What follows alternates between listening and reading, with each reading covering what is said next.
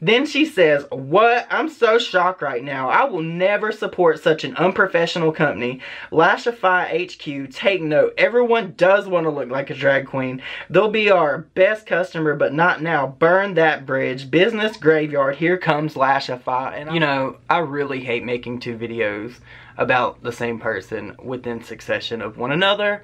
But there has actually been some real drama that has popped off with Manny MUA and this indie company called Lashify.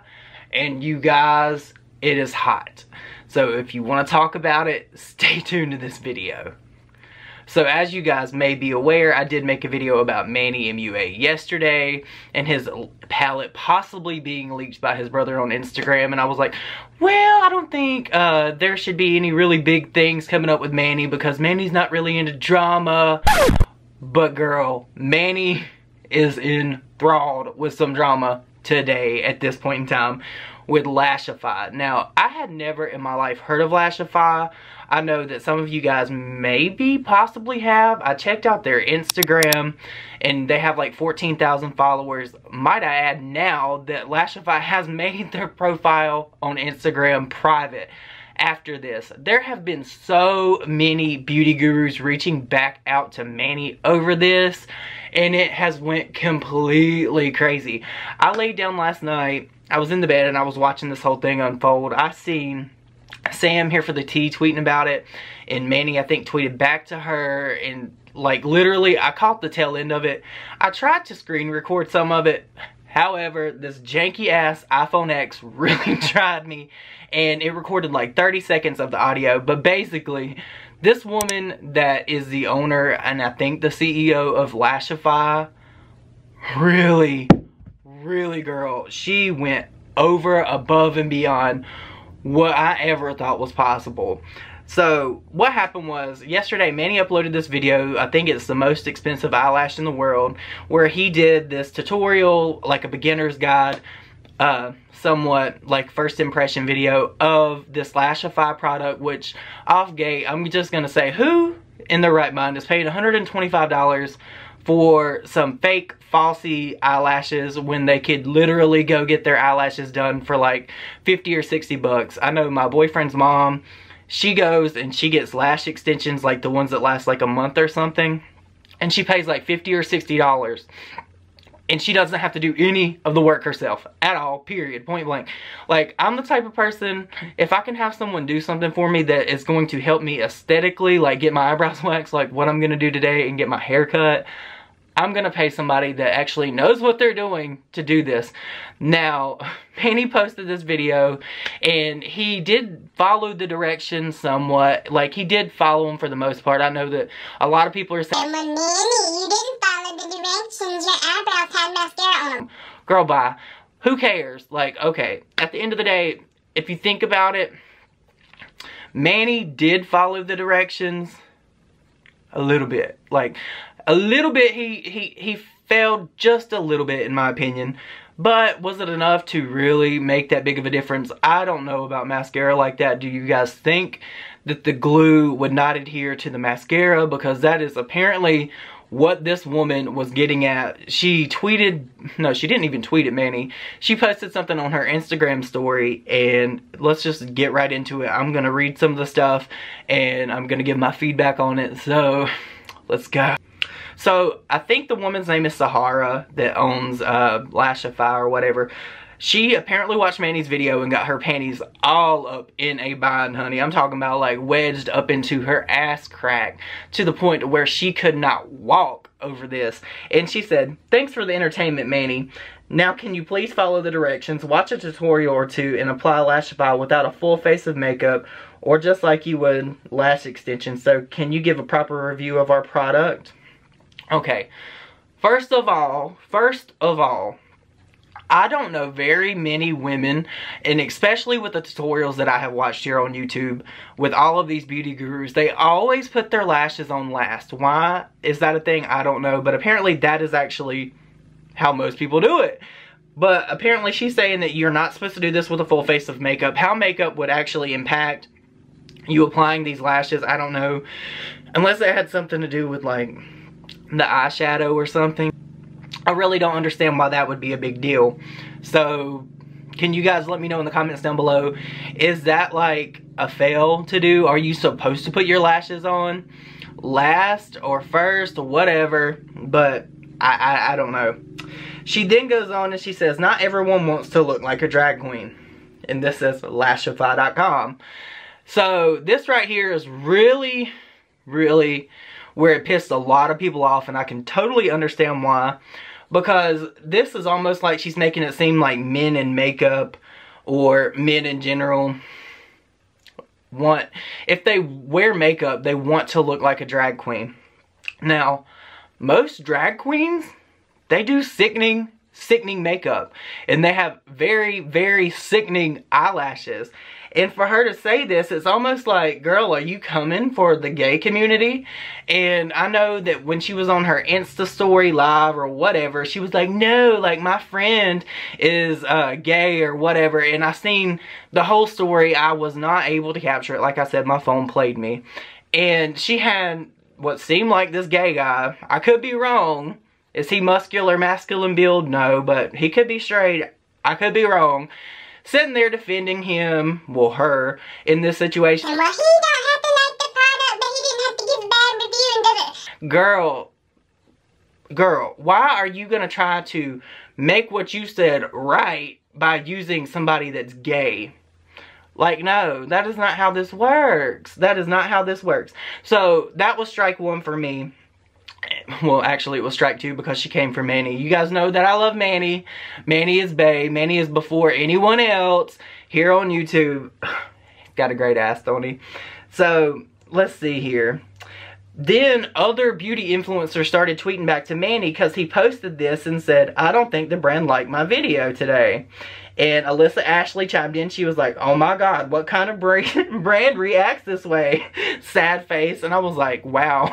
It really takes a lot for Alyssa to get involved in something like this. And then Raw Beauty Kristi tweeted back and said, bro, she is live right now on Instagram calling Manny fans fucking idiots. What? Now, it's one thing to insult one person, but it is another thing to insult their following. Manny has so many followers. He has like 4 million and a half subscribers here on YouTube. He has like 4 million followers on Instagram and like a million followers on Twitter. I heard someone even say that she was saying that Manny's followers are broken. They couldn't afford her products and that something to the effect of they're idiots. They can't afford the products. There was something else. There was something else. Oh, she was like, well, if you're, she said something, well, you're not buying my brand. You're not buying my brand. Like being like really discriminatory in a way to people that were, in my opinion, she was being discriminatory. She may not have been, but she was like almost talking down to possible clients, possible customers of her brand you guys. Like that is like a PR no-no. Coming from someone that has a background in PR with corporate relations and things like that that is something you do not do. You do not come after your customers because that's the thing where you cannot come back from. Like you cannot come back from coming for a customer. Like and I know that this woman said that she's put like two or three years of her life into this and she's like found the science behind perfect eyelashes. You guys, I did not know that there was like an eyelash community. I went on this Instagram post and there were people replying back to it. I wish I had a screenshot of it now. And they were like, well, yeah, I've been in the eyelash community and this is actually a great product. And they were like defending her like, there's an eyelash community, like there's sub communities of beauty community, uh, Ugh. There's sub communities of the beauty community now. Is there like an eyeshadow community? Uh, are there people that's just like straight up into eyeshadow? I don't know. Manny replied back to Raw Beauty Kristi and said, that one right there is messy. Messy. I was dying. So let's see here. JKissa chimed in and she said, what? That is so tacky. and the gift that she used. Like, I know you probably can't see it, and I do not have time to edit all this stuff in, unfortunately, because I am actually going to get my eyebrows waxed and my hair done. Maybe I'll get some lash extensions. and then Jordan Hanz chimed in, and she has, like, uh, the uh face, like, what is going on? And then this one right here is what tripped me out the most.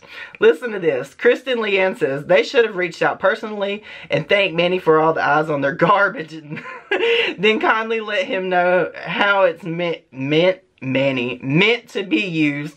Chance to save that relationship. What morons. Then she says, what? I'm so shocked right now. I will never support such an unprofessional company. Lashify HQ, take note. Everyone does want to look like a drag queen. They'll be our best customer, but not now. Burn that bridge. Business graveyard. Here comes Lashify. And I was just like, damn. Like, these people are really coming for it. Like, if there was any opportunity at all for Lashify to ever work with any of these beauty influencers, it's gone. It's like completely shot and gone. Like, nobody is going to want to work with this company. And, like, literally these days, beauty, beauty, the beauty community has so much influence they have so much influence. I'm really waiting, like, you know it's gonna happen. There's gonna be another beauty guru that is gonna buy this product and they're gonna review it and they're gonna be like completely 150 cent, 50 cent, I was thinking of the rapper, 150% like brutally honest with this product review and they are gonna let this girl have it. They're never gonna get a good review out of anyone. They're gonna have to really start at the bottom now like with influencers that maybe have less than 50,000 subscribers to get any kind of clout. Now this is like another Starcrushed Minerals incident. Incident. Incident. And like I am just floored at how these companies like this are actually doing this. Who in the fuck goes on Instagram Live and shames the following of someone that reviewed their product. Who does that? I just don't get it. Daniel Prada said, this seems really unprofessional from a brand. Yikes. You guys, I, I just, I'm at a loss for this.